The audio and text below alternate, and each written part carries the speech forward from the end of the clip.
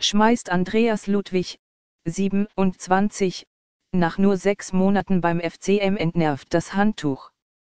Darüber diskutiert Fußball Magdeburg seit Wochen.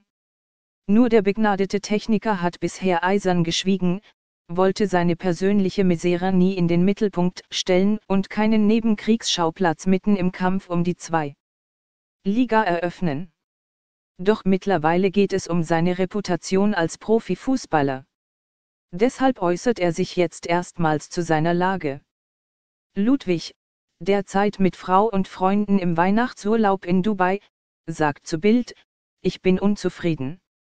Und ich werde die Tage hier nutzen, um über meine Zukunft nachzudenken. Es muss eine Entscheidung her. Nächste Woche bin ich wieder in Magdeburg und dann muss eine gefunden werden. RW Erfurt und der FC Karl Zeiss Jena. Beide Teams haben bisher einen enttäuschenden Zuschauerschnitt bei den Liga-Heimspielen. Drittlich ist Aspach verzichtet erstmals auf eine Wintervorbereitung in der Fremde. Am 3 Januar ist nach 17 Tagen Urlaub Trainingsauftakt. Bedächtige Worte in einer für ihn hochexplosiven Lage.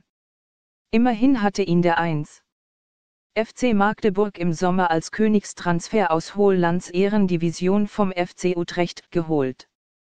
Mit der Erfahrung von 42 Erstligaspielen in Holland, 6 Bundesliga, Hoffenheim, und 38 Zweitliga-Einsätzen, allen, 1860 München, sollte er die zentrale Figur beim Wandel vom Kampf zum Qualitätsfußball sein.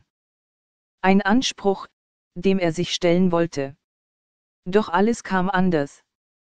Trainer Jens Hertel, 48, hat den wuchtig erfolgreichen Qualitätsfußball installiert. Ohne Ludwig der stand bis Oktober nur 488 Hinrundenminuten auf dem Platz und ist seitdem teilweise nicht mal mehr im Aufgebot Spielertypen, die sich über Technik definieren, haben es bei Hertel schwer. Gerrit Müller, Manuel Faro Napolido oder Piotr Quilong scheiterten schon vor Ludwig.